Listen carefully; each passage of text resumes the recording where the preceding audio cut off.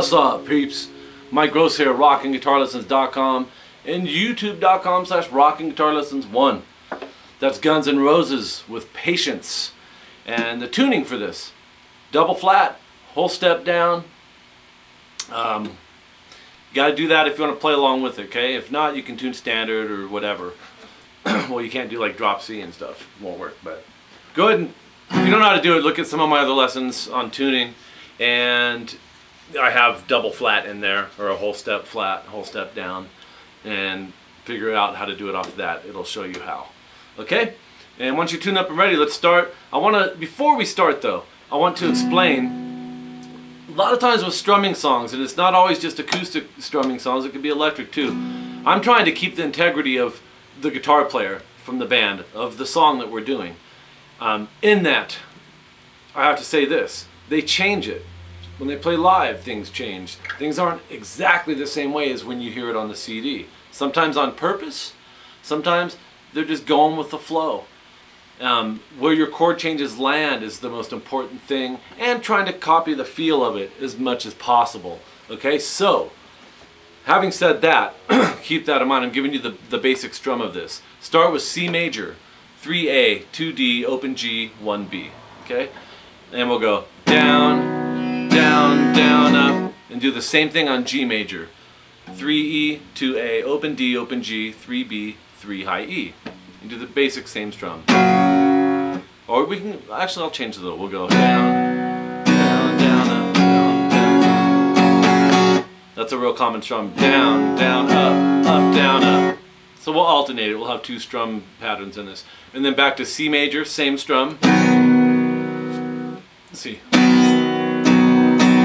No, now we'll go down, up, up, down, up. We're going to do three. I'm really going to throw you guys for a, a loop. Curveball, man. Watch out. It's going to hit you. And then E minor. And we'll keep that strum the same. We're not going to throw another curveball. So, see.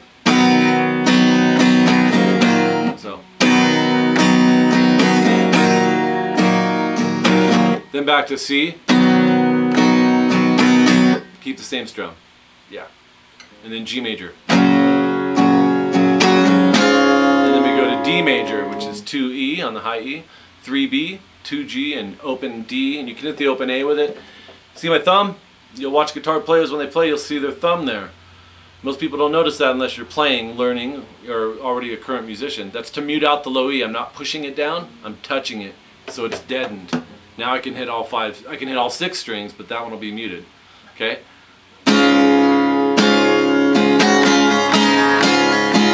But on that, I'm not going to show the little changes, just strum through. But it's a longer strum, like. So down, down, up, up, down, down, up, down, up. And then you'd repeat the whole progression. C major, G major, C major, E minor, C major, G major, D major. Okay? That's one of the hook main parts in Guns N' Roses. Patience. Just a little patience. You know. So anyways, like I said, if you want to tune with this, go for it. If your chord changes are fast enough to keep up with them, definitely go for it. If your chord changes are slow, don't even sweat it. You can keep it in standard tuning. And you want to work on seeing how fast you can change from a C major to a G major. That's key, guys. I know that from teaching 20 plus years. If your chord changes are taking this long, and there's nothing wrong with that, guys. We've all been there. Then why bother playing along with the song? Wait till you can get them. And part of your practice, just move your, your fretting chords, you know, from your fretting fingers here. You don't even have to strum. Just see how fast you can change from one chord to the next. Okay? And then from that to the next chord, or whatever. We're going C to G, G to E minor, C to G, G to D, all that. Once that part's in place, then you're approaching being able to play along with the actual song. So keep that in mind, not just with this song, but with all songs. Power chords, it doesn't matter what, what the chords are, or whether it's a solo or anything, alright? So, my name is Mike Gross. I'm going to take off here, man. I got another lesson to do. And uh, my website's coming this month, by the way. rockinguitarlessons.com. And June of 2012, we're in there right now, June of 2012. I'm not sure the release date yet.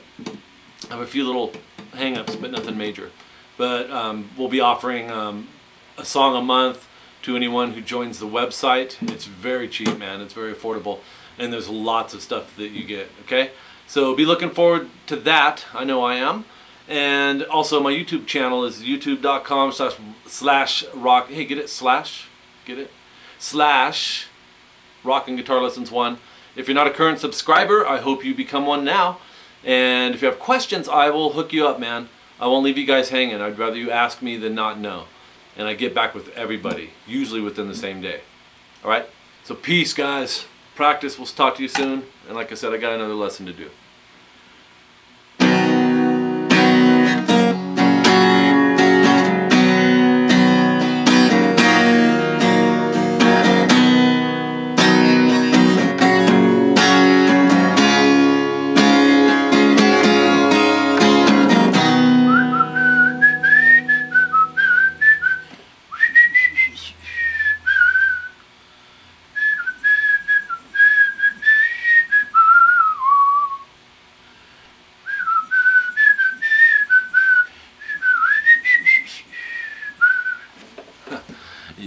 I'm a nut.